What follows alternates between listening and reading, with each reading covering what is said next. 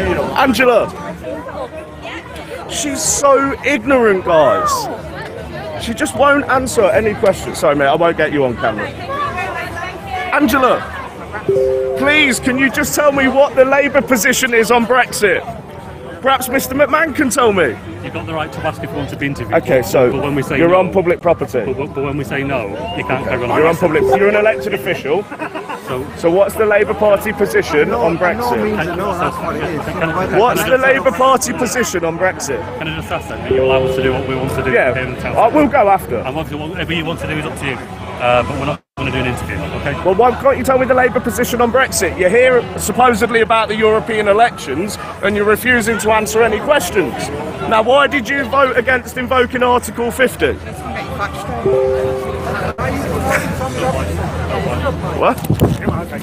What are you doing?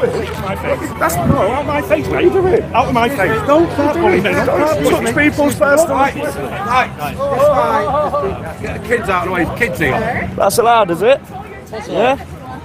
Ah, one rule for them and one rule for another. No means no. So Well, we've got every right to say it. You are, but you, you, hound When you're promote, yeah, because you're promoting a party. people, Can we talk to you? And if they say no, we just move on. You're promoting a party. I- The only people I want to speak to, the only people I want to speak to, is these Labour officials, these traitors. Tommy Robinson, you need to go to Lanside. I'm not promoting him. I'm promoting Brexit. No means no. So you should No means no. go and talk to somebody else. Yeah, no means no. Leave means leave as well.